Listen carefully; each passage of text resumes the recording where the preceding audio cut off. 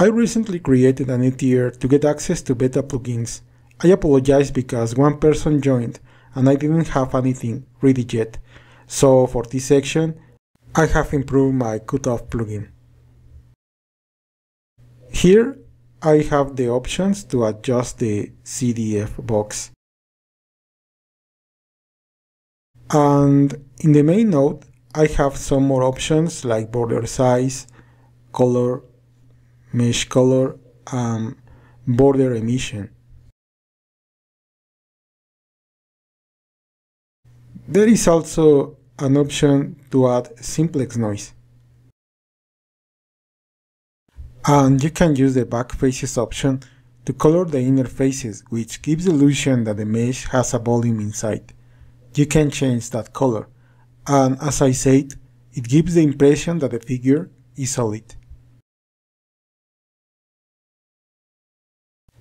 Now, let's look at this example where I am using simplex noise first and with the SDF shape you can create a dissolve effect. You can change the scale and the strength of the noise. And I really like the high frequency simplex noise.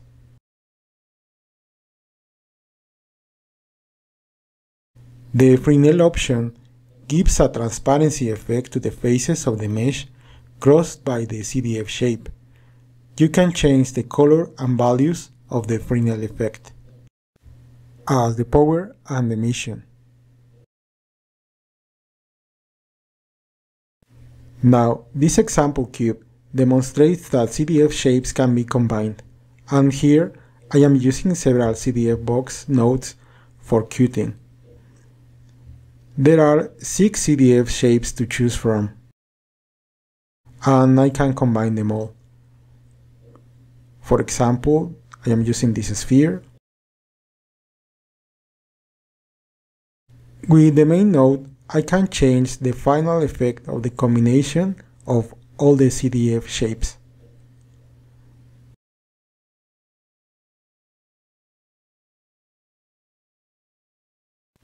Now, this is a much more complex mesh, and in this case I am using the infinite cylinder node.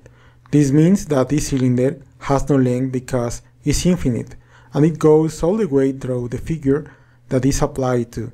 It only has the radius and that allows me to see through the shape. I can change the rotation of the SDF,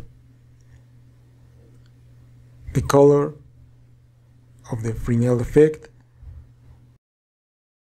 and I can see through wherever I want.